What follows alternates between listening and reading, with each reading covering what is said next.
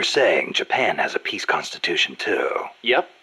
Japan renounced war in Article 9 of its constitution, aspiring sincerely to an international peace based on justice and order. The Japanese people forever renounce war as a sovereign right of the nation and the threat or use of force as a means of settling international disputes. In order to accomplish the aim of the preceding paragraph, land, sea, and air forces, as well as other war potential, will never be maintained. The whole ideological split between East and West. In the end, it's just a greedy scramble for wealth by the ruling classes. The Western bourgeois stand to lose everything if their countries go communist. After all, the communists want to abolish private property altogether. So the capitalist rulers desperately tried to halt the global spread of communism. Hence the phenomenon of red baiting. One of my more popular videos on Japanese politics I've made recently was a video I uploaded in January talking about why like American conservative types love Japan and talking about how Japan actually does have a pretty strong left-wing movement in that it has one of the biggest communist parties in the world in a country that isn't ruled by a communist party. And in that video, we spoke about Kojima and other people who I really admire the work of. Now, I've made actually multiple videos on Metal Gear Solid as well, and I've mainly spoke about the politics of games like Metal Gear Solid Peace Walker. But today I wanted to take a further look at Kojima and also Miyazaki in, I guess, the context of looking at cultural imperialism on Japan that kind of started with the US occupation following the Second World War and how it has influenced both their politics and both their work. But honestly, in this video, I thought it'd be nice to take a creator who I really, really like, who I know loads about, Kojima, and contrast it with someone who I don't know much about because I haven't really watched any Studio Ghibli films, so I don't know about the politics in his messaging. But recently there was a quote which I'm going to talk about going around that he said that shows how much he hates like Hollywood and also hates American culture. So in this video, I'm going to talk about these two creators and their work in kind of the context as a response to American cultural imperialism on Japan itself and like I said how it influenced their works. And for Metal Gear Solid I really want to focus on the main plot of Metal Gear Solid 5 The Phantom Pain mainly talking about the language thing. And upon researching this video I didn't realize how much I actually liked this topic in the game because I played it when I was only 20 years old, I believe, and I haven't actually revisited it properly. I've played it a couple times, like from the start, but never got around to finishing it. So it is very interesting and if you're someone who's maybe my age or younger or maybe didn't pay much attention to the cassette tape stuff you might find this video pretty interesting as well but just a reminder if you want to support my channel and support this video maybe like the video if you like it and maybe share your thoughts down in the comments also follow me on social media at the Kavernacle on Twitter on Instagram come join our subreddit down in the description. Also, if you would like support my work on Patreon, I'm trying to build as many one to three dollar patrons as possible, and the benefits of that are getting my private patrons Discord server and getting my Nintendo Switch friend code. Also, I'm live streaming two times a week now. Had a lot of fun talking about Blade Runner last night. That is now archived on my second channel, The Kavernacle Extra, another stream coming tomorrow. So in my past videos covering Japanese politics and specifically covering Metal Gear Solid, I did focus a lot on trying to prove to you guys and the audience that Kojima is actually left wing, probably a socialist. He actually recently shared a Japanese socialist novelist's work on Twitter. I think it's pretty clear at this point, but I mainly focused on Peace Walker and how the characters in that game all like love Che Guevara and talking very positively about Che Guevara. I was shocked the first time I saw you. You look so much like him. Huh. I look like El Che, huh? I wonder if Che and his men ever sat around and drank mate. I bet they did. Che was famous for his love of the stuff. Your men see you as a great man. as great as the century's most complete human being. That's Sartre, right? Well, there's hardly been a more iconic figure of his times than Che. Oh, he was more than that. He was a true revolutionary and a great warrior. How you fight with the Sandinistas in Nicaragua against the American CIA, and that's all like a very left-wing story, and how just the general message of Metal Gear being against nuclear weapons, and having lots of progressive messaging does prove that Kojima is a socialist. But I want to start this video by taking two quotes from both creators, starting with Miyazaki, because this was going around social media the other day, despite being like a fairly old interview, and he's basically talking about American cinema. And Miyazaki is a pacifist, and he has called out things like The Lord of the Rings, which I feel like is a bit bizarre for the tone he's going for. But Kotaku reporting on this a few years back. The time Miyazaki went off on America, so a quote from him, I dislike the United States that dropped the bombs and does not regret it. I'm anti-Security Council. I'm against neutral alliance, against Americanization, and this is the main theme of this video. So obviously I had no interest in riding an automobile. I hate people who are proud that cheap Japanese cars are popular in America. I look at people who wear badges of the US Army and US Air Force that filled Vietnam with dioxins as enemies, so I'm against motorization. So why did such a man come to ride an automobile? When my wife's belly began to grow, the young me believed that as a husband, it was my duty to carry the same weight, so I decided that even though I did not know if it was a boy or a girl, in order to take my child to nursery school, I would go to driving school, a place that still gives me shivers to remember. All driving schools should burn to the ground. My wife went through quite an ordeal with a difficult birth, but it was equally difficult birth for me. This is from an essay about how Miyazaki learned to drive, but the setup written in the present tense seems to show a bit of resentment towards the West. While the clear connection is missing from the text, the implication is that Miyazaki hated cars because they were American. There are also a couple of doodles by Miyazaki depicting an angry younger version of himself. One on the upper right shows him spewing anti-Western vitriol with lines like, anti-jeans, anti-bourbon, anti-burgers, anti-fried chicken, anti-cola, anti-American coffee,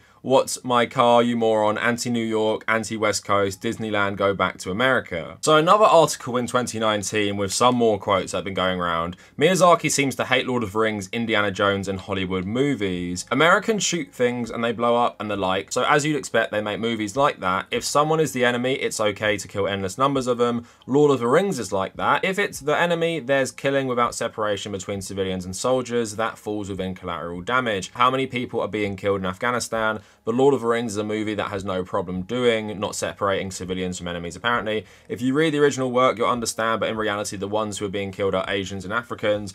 Those who don't know that yet say they love fantasy are idiots. So what he's referring to here is probably something I've made a video on, and it's what the inspiration for the bad guys in Lord of the Rings were. For example, I think the orcs were inspired by the Huns, and you can go check out my video about that if you care about learning a bit more about that. So he goes on to say, even in the Indiana Jones movies, there's a white guy who bang shoots people, right? Japanese people who go along and enjoy that are unbelievably embarrassing. You are the ones that bang get shot. Watching those movies without any self-awareness is unbelievable. There's no pride, no historical perspective. You don't know how you are viewed by a country like America, and I guess he's referring to the second Indiana Jones movie, probably not the first or third one. So obviously it's clear from those Miyazaki quotes, he does not like US cultural imperialism, he does not like Japanese consumers, like I guess eating up American culture, while at the same time not realizing, I guess, how maybe American cinema views them. Now, just a reminder, Miyazaki was born in 1941, so he has experienced this sort of thing happening over his life, and you can maybe argue about how common it is for Japanese people to be seen in this way in American cinema these days, but it's obviously something that has been true for a long time. Now, Miyazaki is far, far more explicit with his political views, as we'll get onto later when we talk about him a bit more. Someone who's a bit more subtle in terms of like what he actually says to the press, not very subtle in terms of his work at times. Kojima gave an article to The Guardian back in 2014 talking about the upcoming Phantom Pain before it was released and Kojima said Metal Gear questions the US domination of the world. Kojima seems just as comfortable making scatological jokes as he does commenting on nuclear proliferation in his games, even if the resulting tone is uncomfortable and uneven. With Ground Zeroes, he escalated the stakes by taking aim at North America's contemporary policies. In the past, the US was the center of the world where everything was happening. I think my stories have always sought to question this, maybe criticize it, but the situation is changing. America is not seen as the center of the entire world world anymore, so the focus on my stories shifting alongside with that change in the real world. It's a diplomatic answer, but Ground Zeroes is not especially diplomatic video game. It's incarcerated suspects kneel in wire cages, bound at the hands and feet with blinding sacks over their heads. As you hoist them onto Snake's shoulder and sprint to an evac chopper, some break down in tears, either through fear or relief. It's grimly political. Gitmo was definitely something that I made decisions to address in the game. Hollywood continues to present the US Army as being the good guys, always defeating aliens or foreigners, I am trying to shift that focus. These movies might not be the only way to view current affairs. I am trying to present an alternative view in these games. So two interesting perspectives from two different generations of Japanese men. Of course, Miyazaki is in his 80s while Kojima is in his late 50s. So an interesting contrast and interesting how one I suppose is a little more subtle as someone who was raised as part of the generation who weren't involved in the war but did experience American cultural imperialism for good and bad. Now, we're going to get onto this a bit more and talk about this article and essay I was reading. But Kojima does love American cinema. Like, it's very, very clear in his games that he does have a lot of reverence for American filmmakers and creators and just like Western cinema as a whole. Like, he's big pals with Del Toro. Nick Refn and Del Toro are both used as models for characters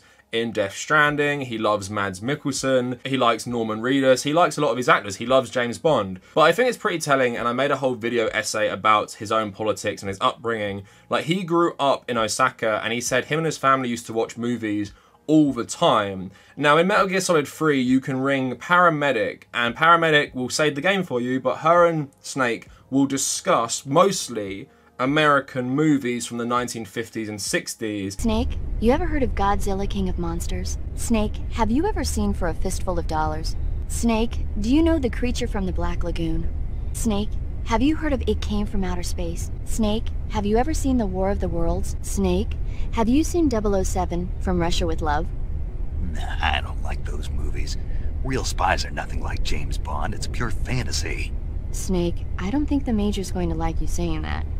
And even though it's fiction, I can't help but comparing myself to Bond. What exactly don't you like about James Bond? I mean, is it the fantastic gadgets? The cars? The guns? Now, I don't know this for sure, but I'm probably assuming that these movies are actually taken from Kojima's own upbringing, that if his family were always watching these American films that became very popular, he probably did watch a lot of James Bond, Clint Eastwood, and The Creature from the Black Lagoon. So moving on to the article, and maybe you'll see how Kojima's and Miyazaki's worldview formed, American cultural imperialism in 1960s Japan as seen in Haruki Murakami's Norwegian Wood. We're not going to talk about that, but I do find parts of this essay interesting to talk about the cultural imperialism. So this article is by Bhakti Nugroho. In the 1960s, Japan began to transform into a developed country after losing in World War II. Around 15 years after its defeat, Japan experienced some social and cultural changes which were brought about by the US during their occupation in 1945 to 1952. So this was called Operation Blacklist, led by General Douglas MacArthur, the Supreme Commander for Allied Powers,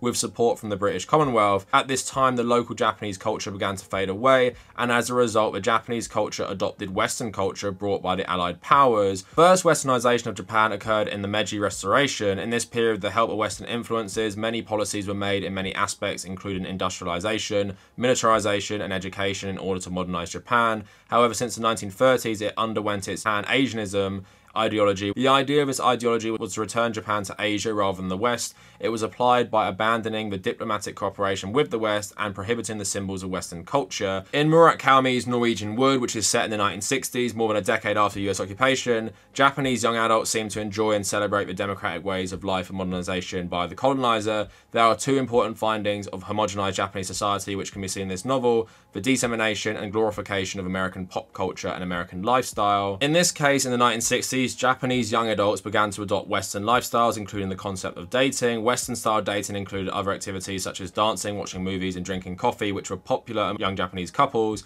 In fact, during US occupation, according to Takahashi Tetsu, the occupation forces had to instruct the police that kissing was no longer to be considered an offense against public decency. In fact, dating was also strange for most Japanese because of traditional Japanese marriage. It is a traditional method to find a spouse in Japan before the US occupation, and it's an arranged meeting between two people looking for someone to marry. This system had remained at least until the arrival of American soldiers in post-war Japan, Thus, cultural changes which were imposed by the US during and after the occupation to post-war Japanese society by mass media created an erosion or even a disappearance of traditional fundamental Japanese culture. Meanwhile, in fashion, both 1960s Japan, male and female, no longer adopted traditional clothes. In this case, in post-war Japan, American pop culture, including modern Hollywood style, became a central model for Japanese people, especially for youth or young adults. Since the occupation, the customary clothing that spread and followed by Japanese people, young Japanese women known as pan-pan girls began began to dress in the styles of modern Hollywood. So like many places during the Cold War that were Western aligned, they were greatly influenced by Western and mainly American culture. And it's clear to see how this culture could enter Japan even further because of their new relationship and alliance with the United States, including having the US actually stationed there from 1945 to 1952. In the Metal Gear Solid games, that is actually how Kazuhiro Miller is actually half American and half Japanese. After that, Yokosuka was flooded with American soldiers come to occupy the country.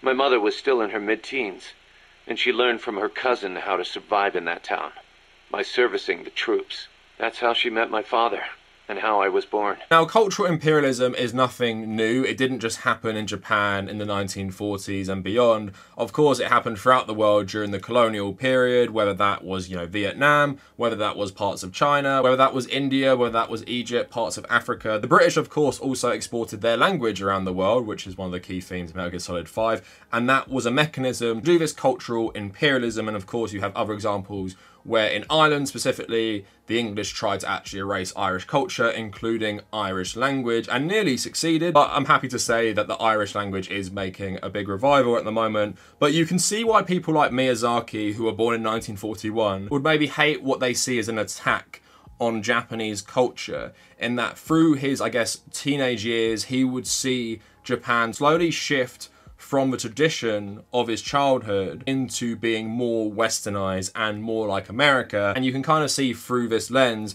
why he would have such a big problem with this stuff and why he would hate American culture so much because he feels like American culture wasn't largely adopted out of like free will, it was actually imposed on the Japanese by the US occupation and then later the US alliance between them and Japan. So it's an interesting take there. But Kojima, like I said, is from the next generation who didn't remember the old Japan and grew up in a Japan except in Western culture. And that can maybe explain why Kojima is so much more pro Western media despite having his own criticism of the US, while Miyazaki is anti American government and also anti American culture. So the Japanese language wasn't erased. Of course, English became a very popular language in Japan. I think it's one of its biggest foreign languages that they speak.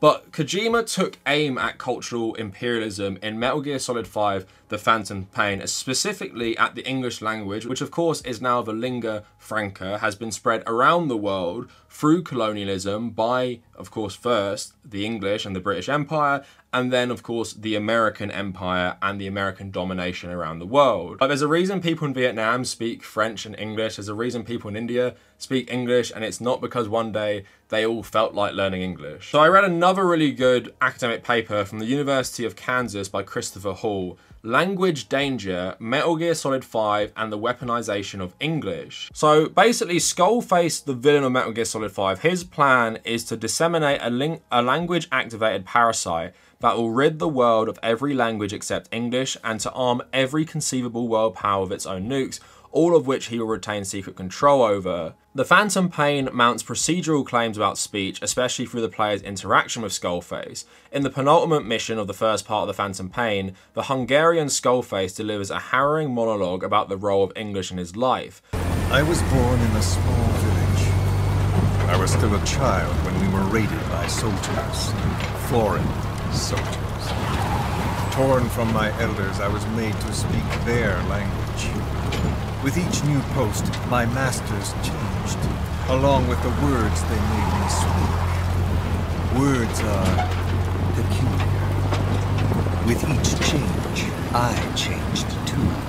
The young Skullface was stripped of his Hungarian mother tongue and forced to speak other languages, including English. The experience filled him with a hatred of English and its growing role as the lingua franca, and his views and history rhetorically posit the language as a destructive and oppressive force wiping out other languages as it becomes increasingly ubiquitous, a force closely bound up with imperialism. The destructive potential of speech emerges in various forms in other stories like George Orwell's 1984. 1984, of course, is a bit of an influence on The Phantom Pain. It's the year that the game is set in as well. A part of the efforts of Big Brother to repress free speech and the formation of rebellion, the government within the novel has instituted the official language of Newspeak. The rhetoric of this imposition of language by force within the totalitarian state of the novel's story world pairs closely with the Phantom Pain's procedural rhetoric about speech, as Orwell also mounts a cautionary argument about militarized attacks on the spoken word. Like Skullface, characters in 1984 experience the frustration and restriction of being coerced into speaking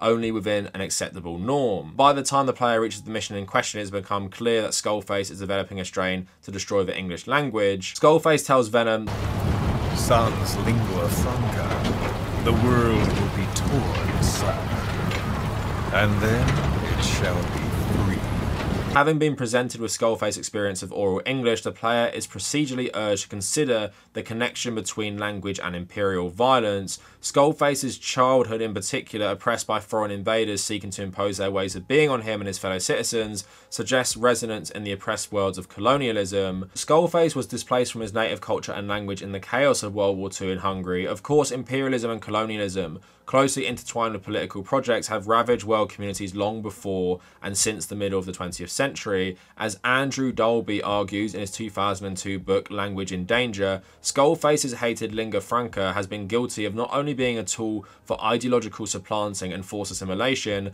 but of actually annihilating entire languages en masse. While the use of English spreads all around us, we are also seeing the rapid disappearance of hundreds, eventually thousands of minority languages. This is not to contend that the growth of English is in every case the cause for the extinction of other languages, but rather to interrogate this relationship in the context of the Phantom Pains argument, I therefore mean the concept of language danger or language in danger to refer not only to the weaponization of language within a story world, but also to the real world destruction of indigenous languages and to question whether spoken English presents a trans world danger to other languages. Language of the colonizer as a means of displacing the language of the colonized threatens the world of the colonized in many ways that are not solely linguistic. The methods of communication available to a colonized people, their foundational concepts, their means of education are all grounded in the spoken language. That structures and perpetuates their culture, and this is threatened when there is imposition of an external language bearing its own attendant ideologies. So interestingly in the game, there is also this character called Code Talker who is Navajo, and he actually joins up with Skullface to develop the parasites, and just on a wiki guide on IGN, just giving a bit of background, in his younger years, Code Talker was taken from his mother and brought to an American Indian boarding school and given the name George. Along with many other American Indians, he was taught how to be civilized and how to speak English, being told Navajo was a dirty language. Code Talker remembered that if any teacher heard someone speak a word of Navajo, the teacher would make that person eat an entire bar of soap. As his nickname suggests, he was apparently a code talker for the US Army during World War II. This turned out to be untrue, unlike many other Navajo who did serve that purpose in the war, and instead he helped to make Navajo an even more cryptic language that would later be used by code talkers sent to the Pacific Theatre. So obviously that theme of Metal Gear Solid 5 is super interesting, and basing it on whether it's like a Hungarian character or more importantly, I think a Navajo character, with some Navajo helping the Americans to actually create codes that could not be deciphered by any other country because it was in Navajo, which was only understood mostly by the Navajo tribe. And I'm sure maybe some white Americans might have learned it in the US Armed Forces to help with this project as well. Then at the same time, Code Talker's backstory is one of where the US has tried to completely erase various Native American cultures. And how did they do that across North America, including Canada? They did not let these people speak their own language and they forced them in many ways to become Christian and trying to become American while never actually seeing them as Americans. And it's obviously something that is super relevant today. But like I said earlier, this happens across the world. It happens with the Navajo here, happened to the Irish historically at the hands of the English, because destroying people's culture, which happened in Ireland to a large part, taking away their language, not only erases a lot of their history and identity, it also erases a lot of your personality. Think of how you try and learn another language and how foreign it is to you, and how you cannot often get your own personality across in that foreign language, even if you do know it quite well, because that's what's going to happen if you can't no longer speak your own language. So let me know down in the comments, if you aren't a native English speaker, how do you feel about the plot of Metal Gear Solid 5 if you've played it? How do you feel, even if you haven't played it, about what I've discussed? Because it's obviously a very interesting critique, especially now and probably since, I guess, like 100 years ago, the economic world order is dominated by a country that speaks English. And if you want to do proper, I guess, business with them or maybe become their ally, you also need to speak English. And if you kind of want to assimilate into this economic world order, you're going to have to have a lot of people who speak this language. How many Indians work for American and British companies? A lot of them do like call center work for them or do tech support. A lot of stuff gets outsourced over there.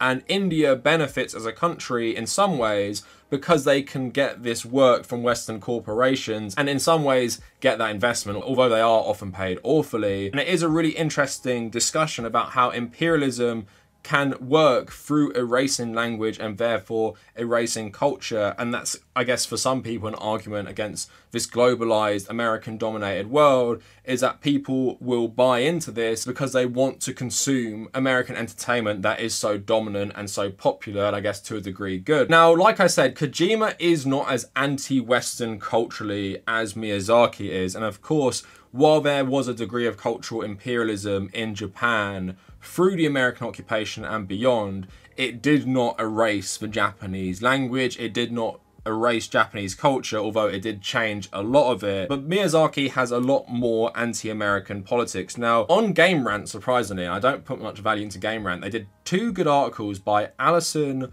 Stulberg talking about the politics of Miyazaki, which I wanted to share quick because I don't know Miyazaki's work that well compared to Kojima's. So a deep dive into the politics of Miyazaki. He's one of the most famous animators in the world, producing Studio Ghibli, which created critically acclaimed films like My Neighbor Totoro, Princess Mononoke, and Spirited Away. The man does not shy away from teaching anti-war and environmentalist sentiments in his work due to the time he was born. Miyazaki lived deeply rooted in the consequences of war. He was born in 1941, four years before Hiroshima and Nagasaki. In his interview, Miyazaki described that even as a child, he felt the war was stupid. He said, I came to truly hate Japan, thinking I was born in a country that did stupid things. When the war ended, he was very young. Miyazaki did say he remembers the air raid that burned his town. He also remembered feeling humiliated when Japan lost the war. He read a lot of books and studied war stories such as The Machine Gunners. It was at the time he read that book that Miyazaki said he realized if he was born earlier, he would have likely been a patriotic military boy.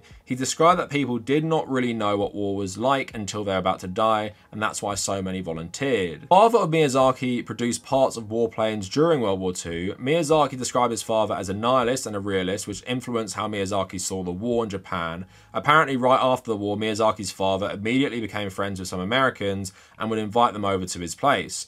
As Miyazaki grew up, he said that he never wanted to sing Japanese songs and he was ashamed of the imperialism of his homeland. However, in his 30s, he re examined Japan after travelling a little through Europe and found that he loved it, though not in a way a patriot would claim. He loved the environment and the nature of the islands. I thought Japan would be a truly beautiful country if it was without people, he grew to believe the land had tremendous power. Miyazaki has a lot of thoughts about Japan's economic structure as well, we lose feelings of reality when we work for numbers. He disapproves of the market oriented system, believing that it denies the spirit that makes things truly our own. Miyazaki wishes for a world where people know how to sew, make a fire, and cook their own food, and find peace and meaning in it rather than what the economy views as unpaid labour. He hates that the economy has a stranglehold on people experiencing real things, as they usually work and they have to decompress and work each day in a cycle. So, like I said, I haven't watched too many Studio Ghibli films, but I thought this one was interesting to talk about because it's in response to the Iraq War. In 2003,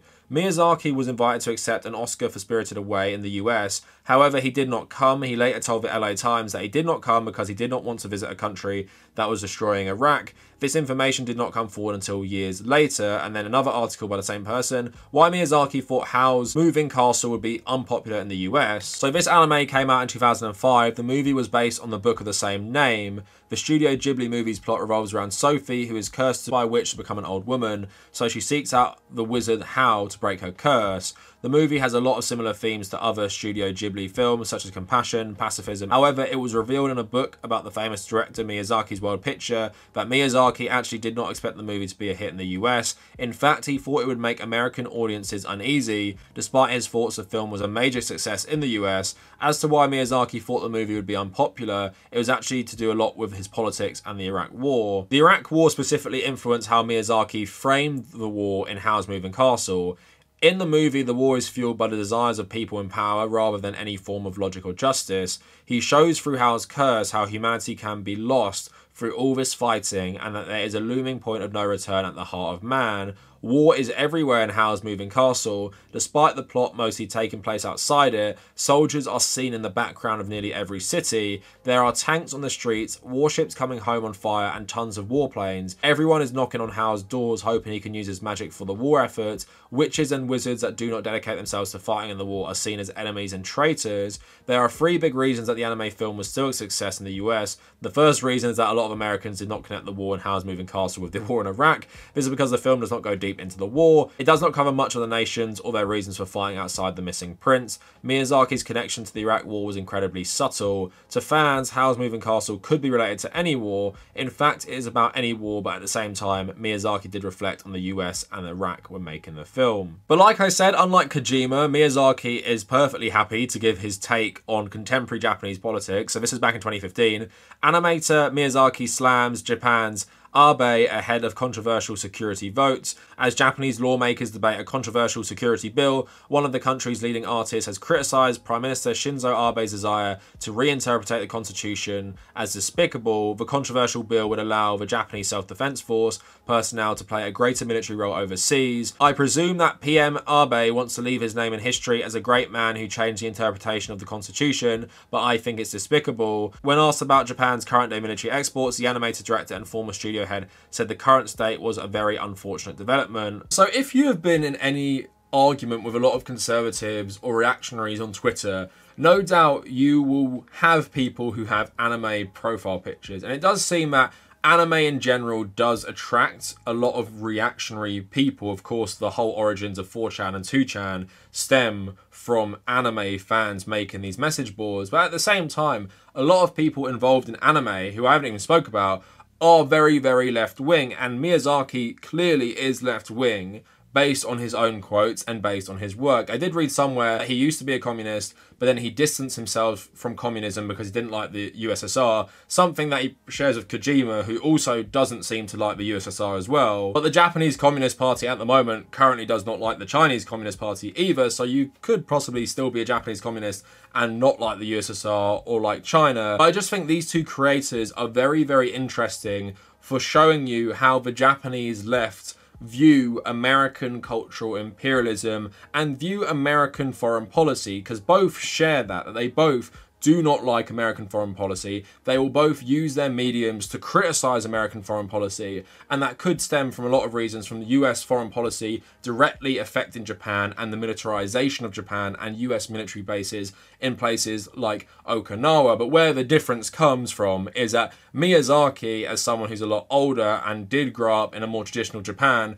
generally really hates American culture in a lot of ways while Kojima likes American culture as someone who grew up in American culture in Japan, but he still shares the sentiment of Miyazaki about, I guess, being against nuclear proliferation, being against US foreign policy, and generally, I would say, despite the fact the Metal Gear games are very action heavy in a very stylized way, you are encouraged in these games to be more pacifistic. You are encouraged to use like chokeholds or use sleeping dart guns because this pacifism seems a bit stronger on the Japanese left than it does in other left wing places, especially, I guess, the left in the United States. And seemingly, you guys enjoy me talking about it, but I do enjoy talking about Japanese left wing movements because it's very, very interesting to me. This country that shifted quickly from an ethno nationalist military dictatorship to a Western style and Western built democracy that had so much Western influence in it, and what political movements get born out of that.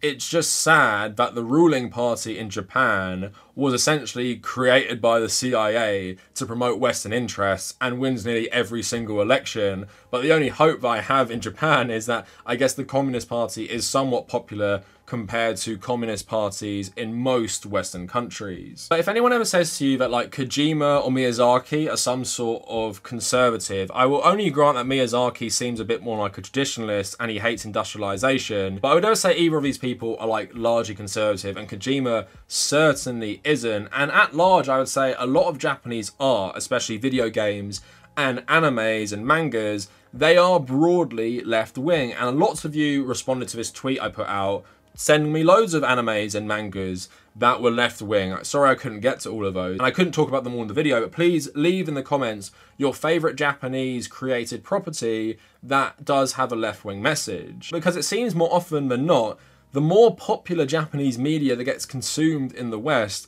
always has some sort of left wing message. It's just that conservative gamers and anime fans have really poor analysis skills, so they don't actually realize they are being fed left wing messages, or the whole point of the thing they love is about having this left wing message. They just like the aesthetics of it, I guess. Anyway, this was a fun video to make. Let me know what you guys think down in the comments. Follow me on social media at the Kavernacle on Twitter and Instagram. Join our community on my Reddit and check out my Patreon. And if you made it this far, thank you for watching.